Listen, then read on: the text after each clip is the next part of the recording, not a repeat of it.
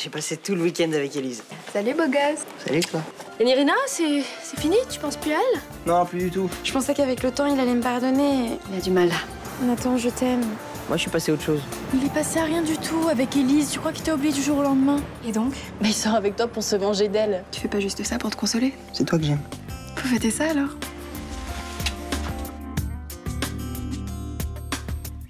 J'ai eu la visite de Vassago. Le détective que j'ai engagé a trouvé un document qui pourrait l'innocenter. Mais moi, je pense qu'il te manipule totalement. Bah peut-être, mais je m'en fous. Il a promis de faire sortir ma soeur de prison et c'est ce qu'il est en train de faire. Il a trouvé le journal intime d'Aurélie. Et dedans, il y a la preuve que je ne l'ai pas tué. Il y a un élément qui va permettre au juge de t'innocenter. Elle dit quoi dans le journal? Qu'elle avait peur de son père, qu'il la menaçait. En plus, il pense que j'étais au courant des menaces. Moi, je crois que vous n'avez rien dit pour que votre femme reste en prison. Ce serait pas Vassago qui est derrière tout ça. Tu penses qu'il se venge? Ce journal qui apparaît tout d'un coup, c'est pas un hasard quand même. Tu vois pas ce que cet homme est en train de faire Éloigne-toi de lui, Juliette, il est dangereux.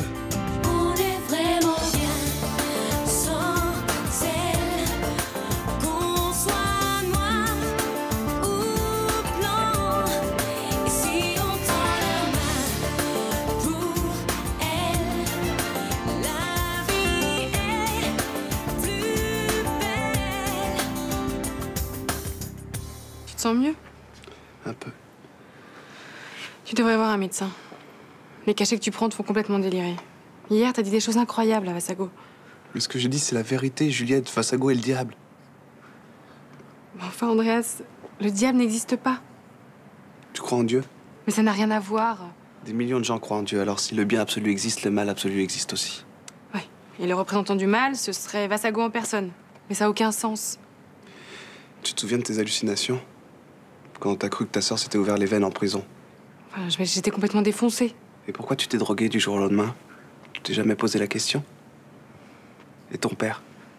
Quand il a tiré sur Vassago, qu'il a cru t'avoir tué. Attends, il était super mal. Il venait d'apprendre que Céline n'était pas sa fille. Mais ça aussi, c'est sûrement faux. Vassago est le mal incarné, ton père le sait comme moi. Arrête, Andreas. Tu dis n'importe quoi. J'ai décidé de mettre fin à votre détention provisoire. C'est vrai? Je je suis libre. L'enquête sur le meurtre d'Aurélie Jacquet a mis à jour de nouvelles preuves. J'ai estimé que votre incarcération n'était plus nécessaire et le juge d'application des peines m'a donné raison. Merci. Attention, vous n'êtes pas innocenté pour autant. Vous êtes toujours en examen et vous n'êtes pas autorisé à quitter le département. Les pistes sérieuses dont vous parliez, elles concernent qui? Je suis désolé, je peux pas vous répondre. On m'a dit que mon mari avait volontairement dissimulé des éléments qui pouvaient m'innocenter. Est-ce que vous pourriez me dire si c'est vrai? Je suis soumis au secret de l'instruction. Je vous en prie, monsieur le juge. On a détruit ma vie en m'accusant d'un crime que je n'ai pas commis. J'ai le droit de savoir. Je vous ai déjà répondu. Au revoir, Madame Schmidt. Bien. Merci, monsieur le juge.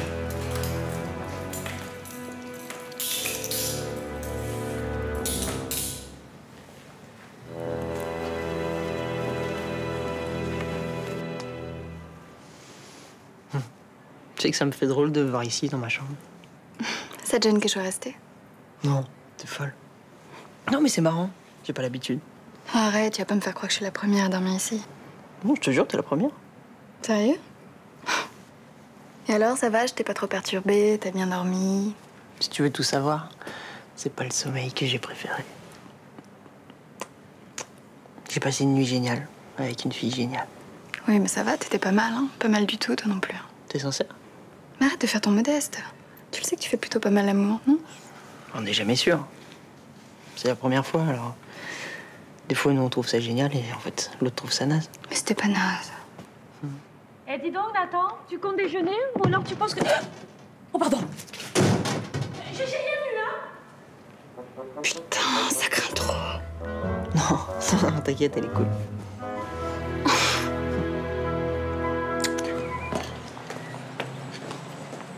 Et voilà, 2,30€. C'est bon, gardez. Non, merci.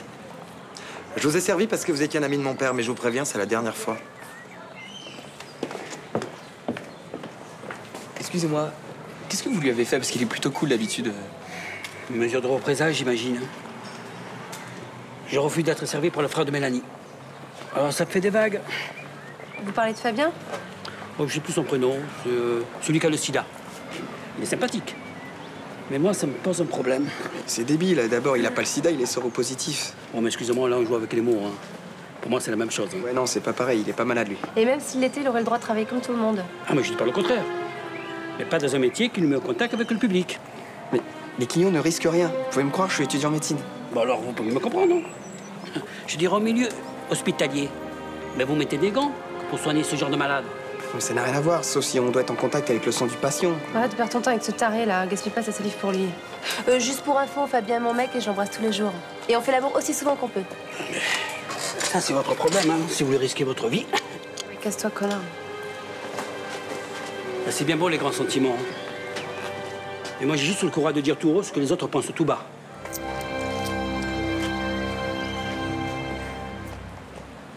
Vous auriez préféré aller chercher Céline seule, peut-être. Non, Vous avez l'air bien sombre ce matin. j'ai pas beaucoup dormi. Andreas a souffert toute la nuit. Je pense qu'il prend pas les bons médicaments. La plupart des gens préfèrent laisser agir la médecine à leur place alors que c'est tellement plus passionnant de livrer bataille contre la douleur. Vous trouvez? Absolument, j'en suis certain. Surtout lorsque l'on parvient à la vaincre, on se sent invincible, croyez-moi. C'est la peur de souffrir qui transforme les hommes en esclaves. Moi, je pense plutôt qu'il prend pas les bons médicaments. Vous avez bien vu hier tout ce qu'il vous a dit sur vos pouvoirs diaboliques et tout ce délire. C'est ce qui vous inquiète? Ne pensez plus, ce sont des extrapolations d'un jeune homme exalté. Il n'est pas comme ça d'habitude. Un garçon hypersensible, ça se voit tout de suite. Donc vulnérable et vraisemblablement idéaliste. Tout ça va très bien ensemble. C'est pas une raison. Alors, vous voyez, les vilains capitalistes, comme moi, qui brassent des affaires, par conséquent des destins, sont forcément des êtres démoniaques, des esprits fragiles. Mais Andrea, c'est pas un esprit fragile.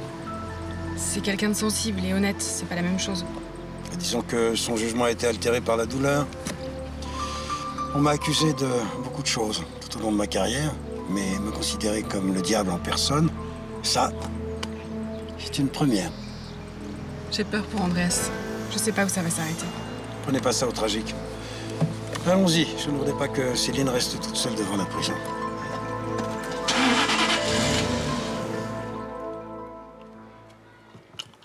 Apparemment, ça creuse les émotions. Ouais, je crève la dalle. Tu vois ça Dis donc, tu iras racheter du pain, hein, parce que moi, j'ai plus le temps. Enfin, si t'es pas trop fatigué, bien évidemment. Ah non, j'ai une pêche d'enfer. D'ailleurs, c'est bizarre. C'est vrai que je devrais plutôt être sur les rotules tellement. Bon, bah, si, s'il te plaît, je, je veux pas de détails, merci. Ah, J'avais pas l'intention de te raconter. Hein. Ok.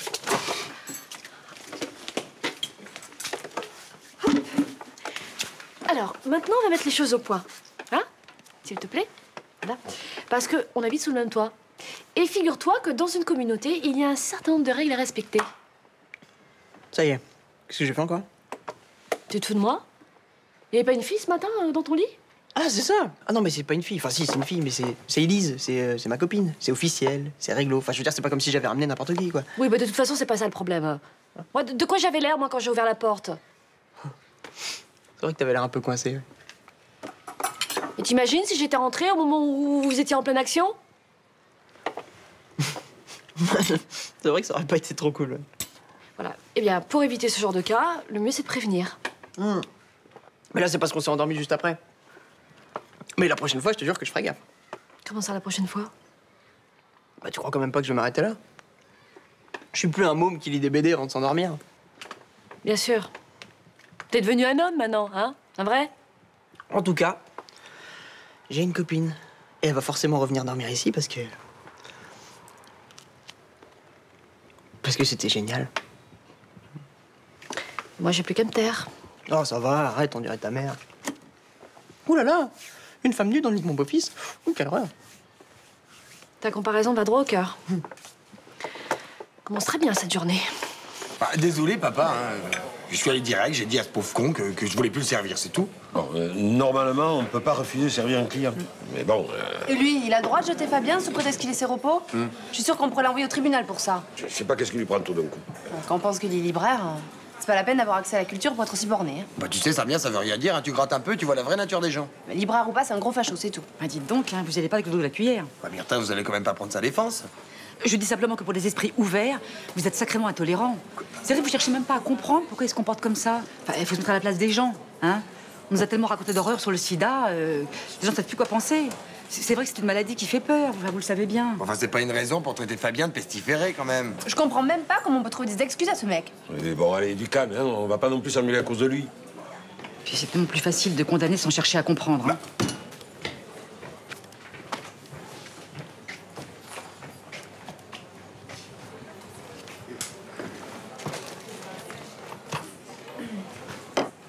Qu'est-ce qui se passe? Vous étiez en train de vous engueuler Non, pas du tout. Non, parler c'est tout. hein.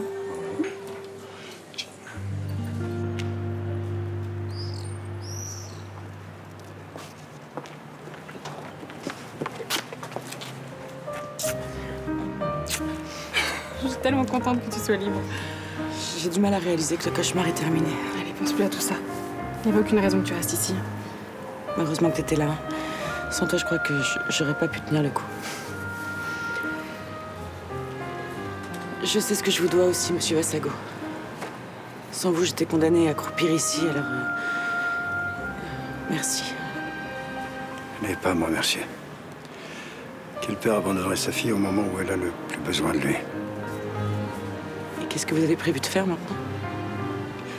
J'aimerais que vous m'accordiez deux faveurs. La première, que vous m'autorisiez à vous tutoyer et vous à me tutoyer en retour. Si vous voulez. Enfin. Si tu veux. La seconde,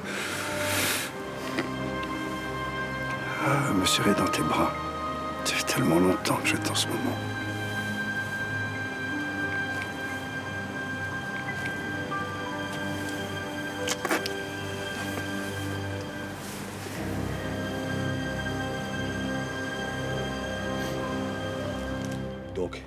Reconnaissez que les gants qu'on a retrouvés chez vous vous appartiennent Oui. Mais les taches de sang, je comprends pas. Le double des clés de l'appartement Chaumette, vous voulez te procurer comment? Je les ai jamais vues, ces clés. Bien sûr. Et les propos écrits par votre fille dans son journal sont faux. J'étais incapable de menacer Aurélie, je pouvais pas. Pourtant, elle avait peur de vous. C'est écrit noir sur blanc dans son journal. Mais c'est pas possible. C'est son écriture, l'expertise est formelle. On a retrouvé ses empreintes sur chacune des pages. Comment elle a pu écrire ça Depuis que sa mère nous a quittés, Aurélie, c'était tout pour moi. Peut-être trop même. C'est pour ça que vous n'avez pas supporté qu'elle s'intéresse à un autre homme. Vous mourriez d'envie de lui démolir la gueule, vous me l'avez dit vous-même. Monsieur Jacquet n'a jamais été violent avec moi. On s'est expliqué, c'est tout. Il était inquiet pour sa fille. Inquiet, c'est pas le mot que j'emploierais. Votre relation le mettait hors de lui, c'est pas vrai? Je vous ai déjà expliqué. Je pensais que c'était pas l'homme qu'il lui fallait. Parce qu'il avait votre âge?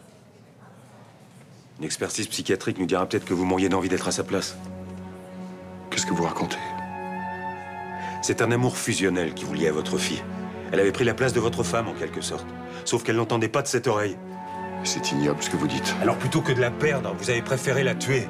Vous seriez pas le premier. On tue plus dans les familles que chez les voyous, figurez-vous. Capitaine, vous allez trop loin, là. Vous taisez-vous En gardant le silence sur les menaces qui pesaient sur Aurélie, vous êtes complice en quelque sorte. Ça vous arrangeait que votre femme soit coupable. Mais c'est faux. Aurélie n'a jamais eu un mot contre son père. Elle l'aimait, elle avait confiance en lui. Il n'aurait pas dû. Le capitaine a raison, c'est moi. Vous avouez avoir tué Aurélie C'est ma faute si elle est morte. J'ai pas su protéger ma petite fille. C'est pas la question que je vous ai posée, monsieur Jacquet. Je veux savoir si vous l'avez tuée. Si ça peut vous faire plaisir, écrivez que je suis coupable, ça arrange tout le monde. Si j'avais su que c'était aussi génial de passer une nuit entière avec une fille, je l'aurais fait avant. Je me doute, ouais. Attends, mais tu peux pas imaginer.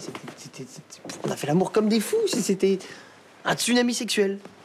Tsunami sexuel. Ouais, enfin, le tsunami, c'est brutal, mais c'est bref comme phénomène. Enfin, je dis ça, je dis rien. T'inquiète pas, on a pris notre temps. Eh, au fait, merci hein, de m'avoir conseillé de sortir avec Élise.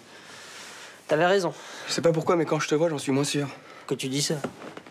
Je te dis que c'était génial. Et à part ça, t'en es où de tes amours? Mais t'es con, quoi, je viens de te le dire. Non, là, tu me parles de tes performances sexuelles. Mais contrairement à ce que tu crois aujourd'hui, y a pas que ça dans la vie. Attends, c'est vachement important. Je me suis jamais senti aussi bien dans mes pompes. Quand je pense au temps que j'ai perdu avec Nirina. Bah, t'avais pas l'air d'aller si mal avec elle. Ouais, c'est ce que je croyais. Là, avec Élise, je découvre ce que c'est que de s'épanouir avec une fille. Enfin, une vraie fille, quoi. Pas une sainte nitouche qui te pourrit la vie. Ah, génial T'es amoureux alors Bah, bien sûr que je suis amoureux, mais. Mais qu'est-ce que t'as aujourd'hui? Tu piges rien, là, t'es chiant.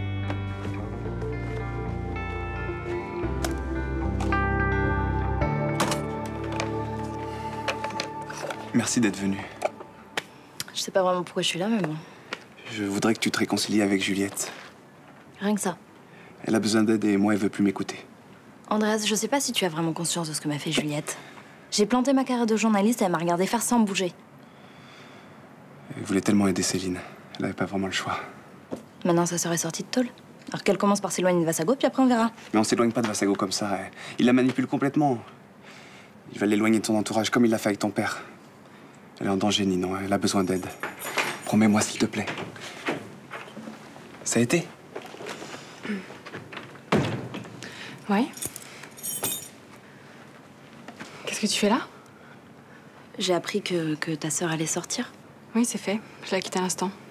Je suis contente pour toi. C'est pas grâce à ton père, hein Arrête, Juliette. Mon père a perdu la femme qu'il aimait égorgée sur le sol de sa propre chambre, je te rappelle. C'était pas une raison pour enfoncer ma sœur. Vassago est la seule personne qui l'a toujours soutenue. Ne parle pas de cette ordure. Pourquoi? Parce qu'il a fait sortir Céline de prison? C'est pour ça que vous le fuyez chez les chômettes Ma pauvre Juliette. Allez, casse-toi.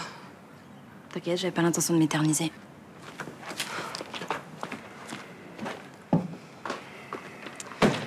Pourquoi tu l'as fait venir ici? C'est ton ami, Juliette. Non. J'ai pas besoin d'amis comme ça. Tu l'aurais vu ce matin, pas gêné pour un sou. Et plutôt fier de lui, tu vois. Genre, euh, bah oui, c'est comme ça, ma vieille. euh, c'est mon âge, il va falloir que tu t'y fasses. Le vrai petit Julot, quoi. Mm. Exactement. Et puis alors, il m'a clairement annoncé qu'il avait l'intention de faire dormir sa copine à la maison régulièrement. Si ça peut le rendre heureux. Ah, le mot est faible, il touche plus terre. hein. Moi, je préfère le voir comme ça. Rappelle-toi comment on s'inquiétait quand il était déprimé. Oui, bien sûr, mais. Mais moi, je sais pas quelle attitude adopter. euh. D'un côté, je le comprends, mais en même temps, je veux pas avoir l'air trop permissive en faisant comme si c'était normal qu'il ramène une fille quand ça lui chante. Mais c'est sa petite copine. Tous les garçons de son âge en ont une. Oui, évidemment, ouais. Enfin, moi, je fais quoi? J'en parle à Guillaume, tu crois? Ça me paraît pas indispensable. Bah oui, mais si en rentrant du Laos, il il trouve cette nana vautrée dans son canapé dans les bras de son fils. Moi, je suis pas sûre qu'il apprécie des masses, hein. Il a dû faire bien pire à son âge. Nathan qui passe la nuit avec une fille. Quand on y pense, les années, ça défile, hein, sans qu'on s'en rende compte. Ouais, c'est vrai. On m'a filé un sacré coup de vieux ce matin. Excusez-moi, je viens de vous entendre. Nathan a couché avec Élise? Bah, moi, je l'aurais pas formulé comme ça, mais ça résume assez bien la situation.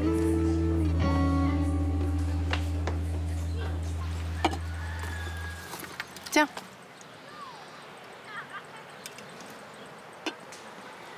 T'as un coup de barre Non, non, c'est. C'est le boulot, ça me prend la tête, là.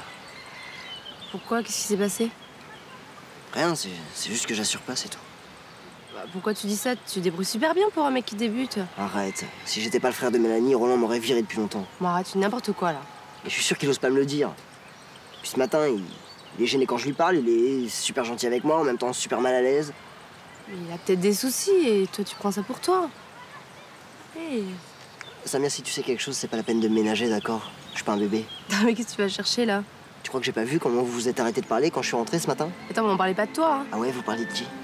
On parlait de de- d'un client avec qui Thomas s'est embrouillé. C'est vrai? Excuse-moi, je suis parano. Tu sais, Roland, c'est pas un hypocrite. Hein. S'il avait quelque chose à te dire, il te l'aurait dit depuis longtemps.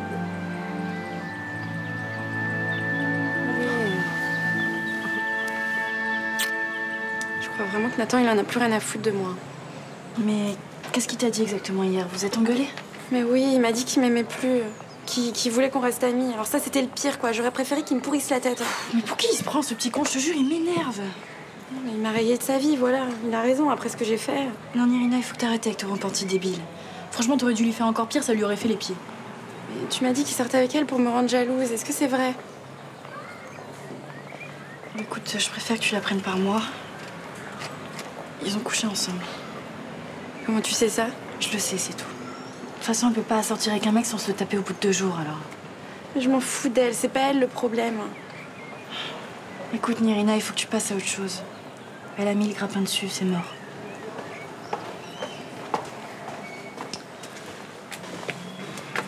Salut. Alors, est-ce qu'il paraît que t'as encore euh, accroché un trophée à ton tableau de chasse? Ça doit commencer à en faire du monde. Mais attends, c'est toujours mieux que de devenir une frustrée de la vie qui vomit sur tout le monde. C'est ça, oui. Alors quand on saute pas sur tout ce qui bouge, on est frustré pour toi. Ah non, mais pense ce que tu veux, je m'en tape, ok? Nathan, il était libre, je l'ai piqué à personne. Mais bien sûr, c'est ça. T'attendais depuis des mois, hein? Bon, c'est bon, t'as assez vu, vas-y, dégage. On est super bien ensemble, ok? Entre nous, c'est chimique. Alors, vos petites vaches minables, je m'en tape. Mais c'est pas possible. Si, c'est très possible, Nirina. Franchement, laisse tomber. Faut absolument que je parle à Nathan, là. Excuse-moi.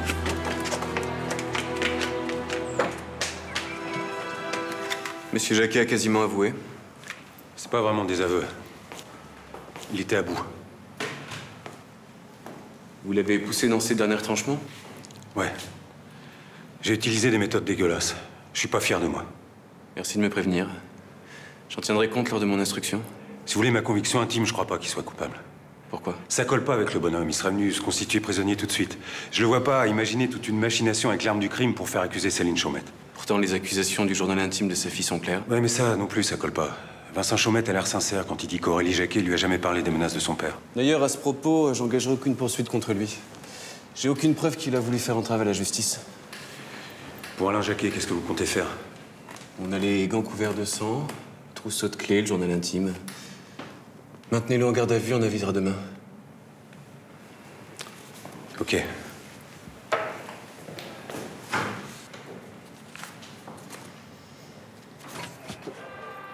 Salut. T'es seule Ouais. Moi, ça tombe bien, j'avais besoin de te parler. Je sais que t'as couché avec Élise. Ça va vite les nouvelles, dis donc. Bah voilà, maintenant on a égalité. Ouais, si tu veux. Et après? Et alors j'ai besoin de te parler, j'ai besoin de te dire ce que je ressens, c'est important pour moi. Mais Nirina, ça sert à rien ça. C'est bon maintenant, on fait chacun notre vie. Mais dis pas des choses comme ça, tu sais très bien que ça me fait du mal. On parle de ce qui fait mal? Moi j'ai des exemples. Mais enfin, nous deux, ça signifie rien. Pour toi, on est restés presque un an On ensemble. n'a jamais été ensemble. Être ensemble, c'est faire l'amour avec une fille, c'est dormir avec elle, se réveiller avec elle. Tout ce qu'on n'a pas fait, toi et moi. Ah oui, alors nous deux, c'était quoi? Un flirt d'ado. D'accord, j'existe plus pour toi. hein. Bah sache que dorénavant, toi non plus, t'existes plus pour moi. Nirina Bonjour, Vincent. Céline Qu'est-ce que tu... Ils m'ont laissé sortir, oui. Désolée pour toi. Je suppose que le juge sait ce qu'il fait. Il a fini par admettre ce que je me tue à répéter depuis plus de deux mois. Je suis innocente. J'attends le procès pour conclure, si tu veux bien. Tu savais très bien que je n'avais rien fait. Et tu savais très bien qu'il y avait un autre coupable. Je viens de vivre un enfer et tu n'as même pas bougé le petit doigt pour me faire sortir de là. Je ne savais rien. Et même aujourd'hui, j'ignore toujours la vérité. Je ne te pardonnerai jamais ce que tu viens de me faire vivre. Tu t'appuies toi sur ta petite personne, mais tu es vivante, toi. Aurélie n'a pas eu ta chance. Je suis ici pour te dire que je vais reprendre ma place à la tête de Phénicie. Mon collaborateur principal sera Léonard Vassago.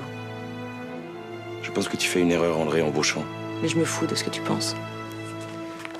D'ailleurs, tu n'as plus le droit à la parole. Tu es viré.